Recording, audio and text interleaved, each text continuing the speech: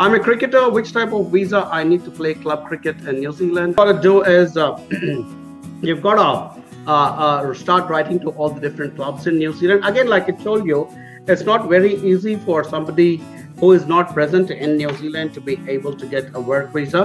But because you have a very specialized skill like cricket, and if you're any good, and if uh, uh, somebody a club here in uh, so you didn't mention at what level you have played but in the past i've also had people who have played ranji trophy level uh, and uh, you know Duleep trophy and different trophy levels also contacting me.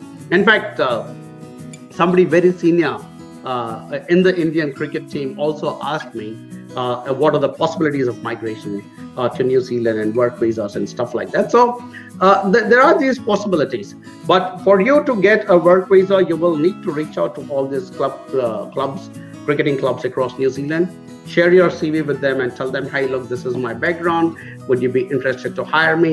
It will be a little difficult for them of course to hire unless until they look at your uh, you know profile and everything else. But if you're lucky and somebody gives you an offer i don't see any reason why you can't get a work visa. It will be a special category kind of a work visa